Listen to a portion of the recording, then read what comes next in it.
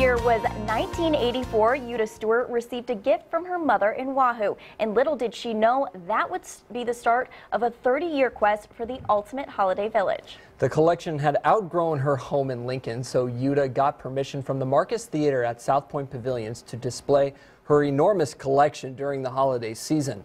Our Lance Schwartz has the story in this edition of Lance's Journal.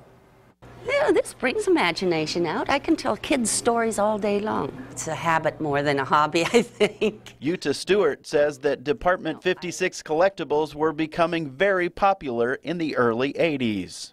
And then after a while, during the whole year, I find these showing up at the thrift shops and garage sales and estate sales, and I um, frequented some of those.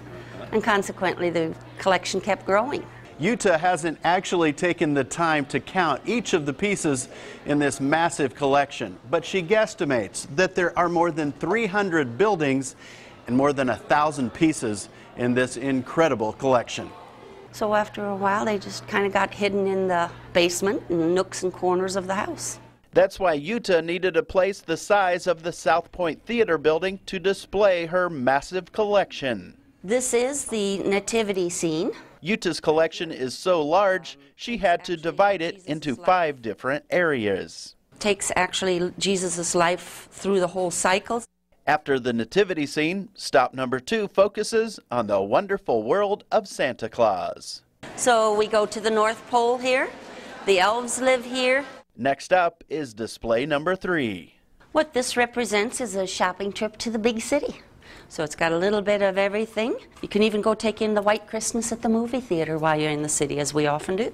Jutta calls stop number four from the mountains to the ocean, and it represents America from coast to coast. And right smack in the middle of it represents Lincoln, Nebraska. The final display area is highlighted by the Dickens Village, which Jutta still enjoys showing to her grandkids. Hey, look at the turkey that's up on there, you guys.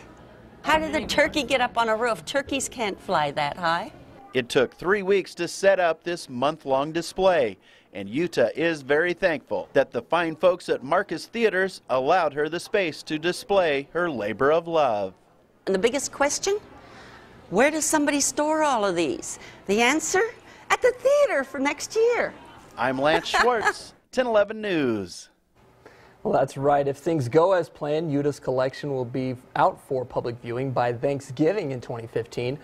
And if you can't wait until then to see it, you have two more days to visit the SouthPointe Theater, as this Sunday will be the last day for viewing. Okay, see, I don't know about you, but growing up, we had one of those holiday villages, but ours maybe took up about two to three feet at the base of our right. fireplace. Wasn't to that extent. Yeah, this is a very extensive collection. Mm -hmm. And for mm-hmm. people who didn't have them, it's nice. They can go and check out all of her. I mean, she has so yeah, many. That's, five five different areas to go look at. It's impressive. Right? It's but cool. again, if you miss it, it'll be back next year. So that's yeah. good to hear. All right, we'll update your forecast next.